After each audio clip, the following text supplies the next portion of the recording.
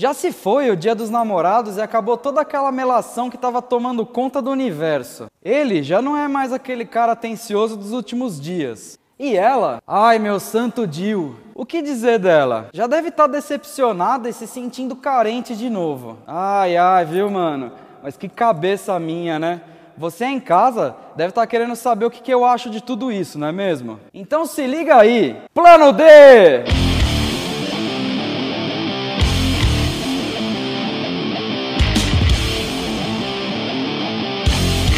Acabou a ladainha do Dia dos Namorados. Para nossa alegria! Pelo menos até começar tudo outra vez no ano que vem. E você que namora, provavelmente se fudeu.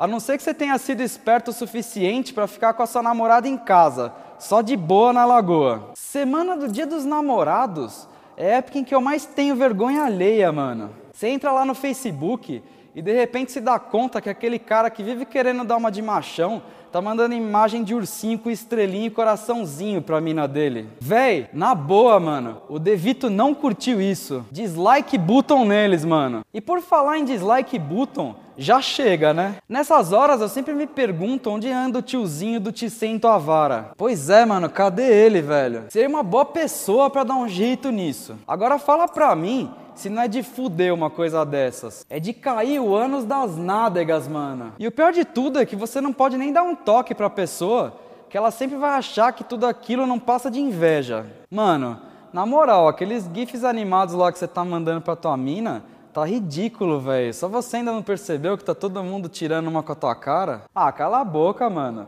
Você tá falando isso aí só porque você tá com inveja. Você e esse povinho todo aí, tudo forever alone.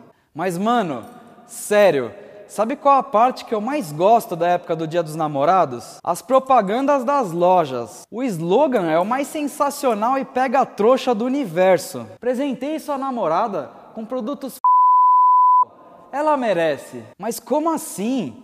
Se a namorada é minha, quem tem que saber se ela merece ou não sou eu, caralho. Resumindo, namorando ou não, eu detesto o Dia dos Namorados. Mais conhecido também como Dia das Filas. Tem fila até para comprar sorvete, para ir no cinema, para ir no motel, tudo por causa desse dia do caralho. E tem umas meninas que conseguem ser tão irritantes, mas tão, tão irritantes, por causa dessa maldita data, que acabam acontecendo coisas tipo isso. Nossa, amor, eu tô tentando falar com você o dia inteiro e só agora que você me atende? Ai, amor, desculpa. É que a bateria do meu celular acabou e eu tava sem meu carregador. Eu esqueci lá na casa da minha avó. Nossa, e custava me mandar uma mensagem no Face pra avisar? Vixe, mano, a internet aqui hoje tá mó bosta, lenta que só a porra. Ah, tudo bem então. Mas não esquece de mim não, tá, amor? Beijão, te amo. Tá bom, amor, pode deixar, viu? Beijão. Também te amo, viu? Ah, eu te amo mais. Pois é, mano. Quando o amor acaba, a bateria do celular acaba junto. Até a internet para de funcionar. Eu ouvi dizer que um dia o Cupido estará me esperando com uma espada na mão e uma emboscada. De tanto que eu já trolei os casais apaixonados. O Devito não curtiu isso. Portanto, se você também já quis entender ou se pronunciar em relação ao Dia dos Namorados e não tinha dado certo por A mais B, já sabe, né, caralho? Se liga no plano D.